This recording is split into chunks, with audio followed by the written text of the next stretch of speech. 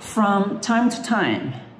In the previous video, I mentioned my sister. I said she has to work on the weekend or at the weekend sometimes. And today, we're going to talk about new phrase from time to time. Yes, you're right. You got it.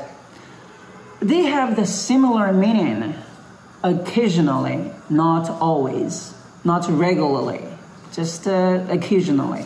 So I can say I post the videos here on this platform from time to time.